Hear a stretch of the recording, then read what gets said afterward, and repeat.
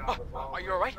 Thank you so much. Uh, we'll see you next time. Also, uh, we want to thank our friends at Balance of Nature. Making sure you have the fruits and vegetables in your diet is important for maintaining a healthy diet. Go to balanceofnature.com and you'll